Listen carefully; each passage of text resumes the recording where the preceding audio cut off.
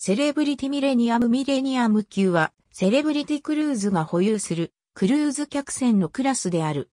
1999年から2002年にかけて、ミレニアム、インフィニティ、サミット、コンステレーションの4隻が建造された。2000年に就航した一番船のミレニアムがクラス名となっている。全長294メートル、総トン数は船により異なるもののほぼ9万1000 GT である。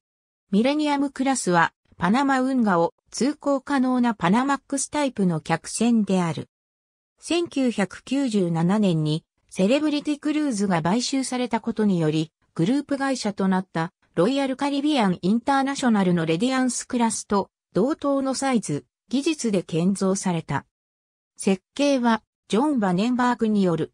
セレブリティミレニアムは世界で初めてクルーズ船としてガスタービンを動力とした。ガスタービン2軸と排熱を利用する蒸気タービンに1軸で発電する出力59メガワットのコンバインドサイクルにより2機のポット推進機を駆動するコッチスと呼ばれる電気推進システムである。そのため鮮明には MS ではなく GTS が付加される。大気中に放出される有害物質の削減やエンジンスペースの縮小、騒音の低減、メンテナンスが容易であることがメリットとして挙げられる。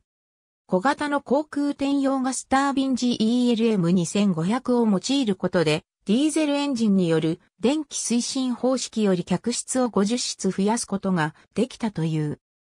2007年以降、燃料費用削減と環境影響低減を図るため、船内ベースロード電源として、電気出力11.2メガワット、16気筒のバルチラ製ディーゼルエンジンがミレニアムクラス4隻に順次追加搭載された。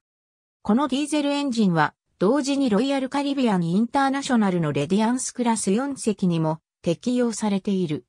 プール、クルシマ海峡を航行するセレブリティミレニアム。ありがとうございます。